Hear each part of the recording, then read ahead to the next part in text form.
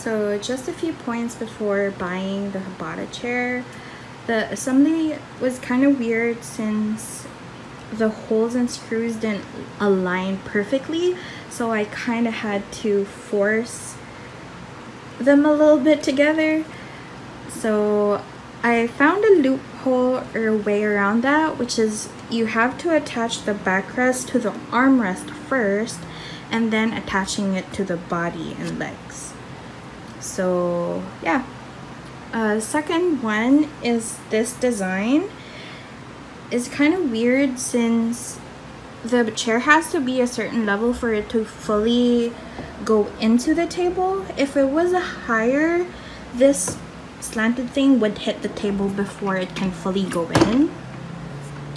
Also, the foam that they use, you can feel that it's cheap, but it still feels sturdy. And the cloth that they used is rough on the skin, so I do plan on covering this up.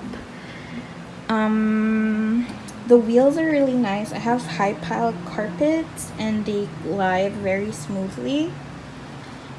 And yeah, I would still recommend it even with those points. I'm a heavy person and it feels really, really sturdy, so I recommend it. Hey everyone, Jason Weiler here, and today we're going to be checking out the Hbada office chair.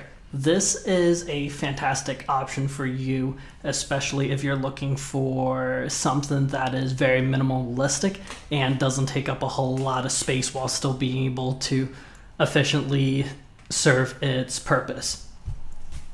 The the chair here is actually, as you can see, very compact, very easy to assemble as well. The assembly is pretty standard as far as office chairs goes. There's not a lot of things that you have to be aware of in order to put this together.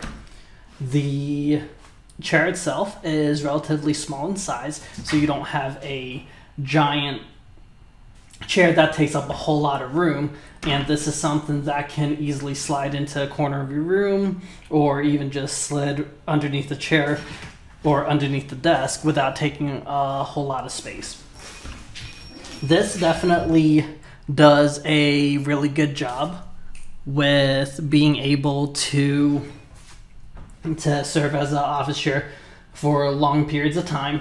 The cushion itself is pretty firm when you first get it, but it'll kind of form its way and be more comfortable as time goes on. So, thank you for taking the time to check this out with me, and I look forward to seeing you guys next time.